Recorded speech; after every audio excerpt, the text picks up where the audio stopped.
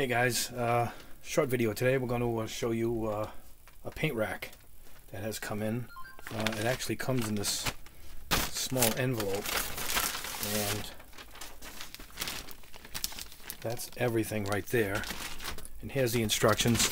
So uh, what I'm going to do is I'm going to build this thing and take screenshots, uh, camera pictures, and I'll put them in the video because uh, watching somebody glue something together would be quite boring. Um, I'm going to use this Zap glue, which is uh, good for anything, anything, wood, plastic, metal. It's good stuff, and it's instant, almost like a super glue. Been using it for years, at least 30 years.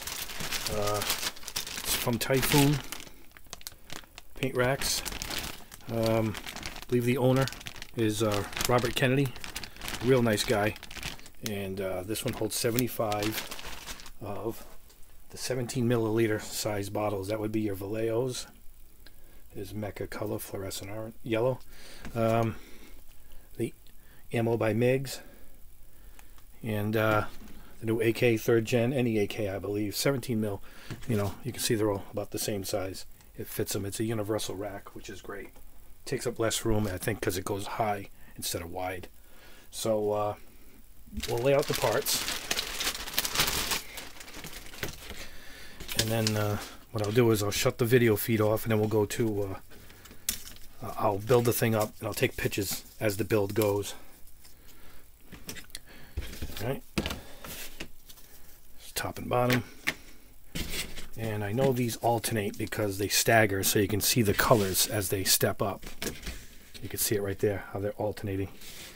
And then I got to alternate them as I go up using the, the zap glue.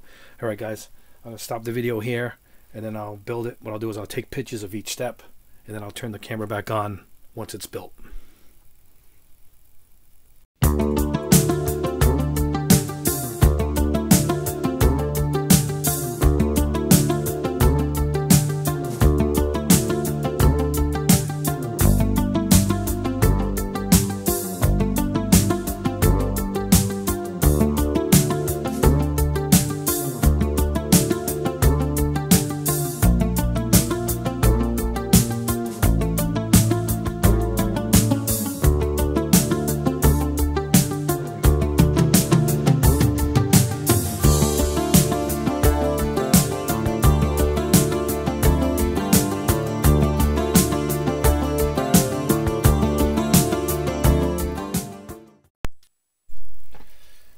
Guys, here it is, the finished product. Um, it went together smooth. And uh, using Zap, we'll get it done quick. It's, like I said, it's like a super glue.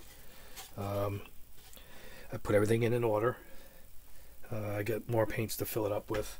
This holds 75, and he has uh, smaller ones, and then they can put together to, uh, I guess you can hold the entire lineup in a very very little amount of space. Um, but that's it. It's beautiful. I can reach for anything. Everything goes in nice. It sorts nice. Keeps it, like I said, a lot in a small space. Um, I can once I sorted it in front of me, I can actually just move it to where I'm going to put it, which is uh, uh, right behind me here.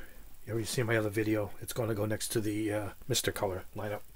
But um, yeah, it's recommended, particularly on these uh, 17 milliliter bottles. It's just perfect.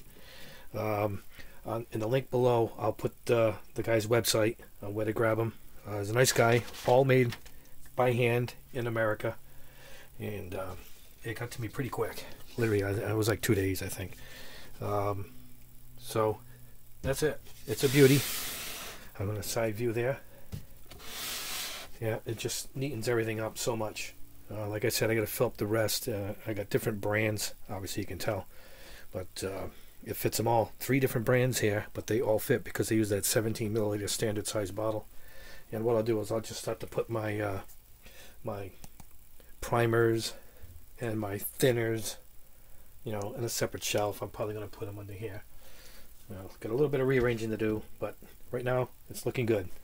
Um, all right, guys. Like I said, look below for the link if you want. Guys want one?